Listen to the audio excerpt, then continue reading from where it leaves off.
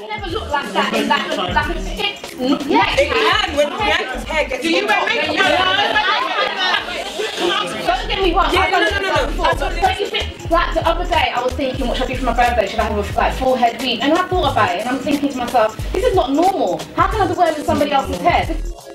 We black girls just started thinking that having our own hair, natural hair, was something bad or was messier.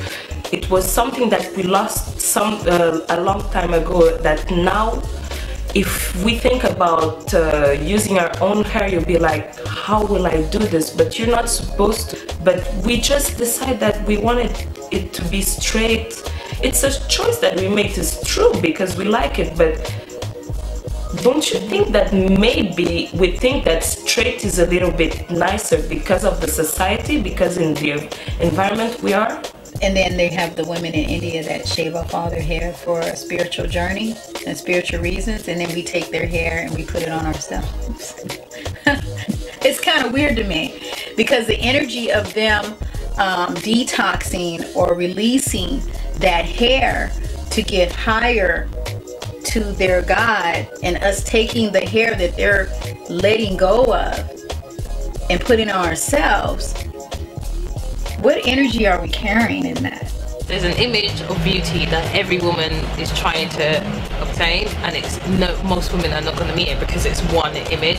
So it's like with white women, they they struggle with dyeing their hair. I need to get rid of my roots and things like that. With us, it's about changing our texture. Um, it means that you have to deny self. It means you have to deny who you truly are. How do you say, I am not a black woman anymore, or I do not have kinky curly hair? How do you say that to yourself?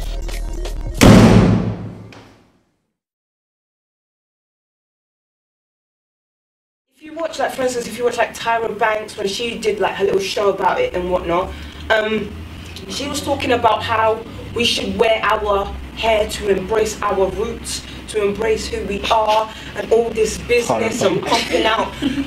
I know where I'm from. My mother tells me every day.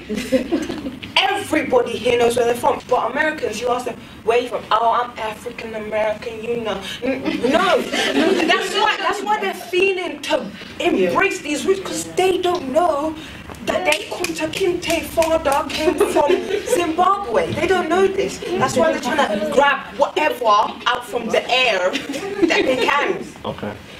I know where I am. I embrace it. I also embrace Indian women's hair because they,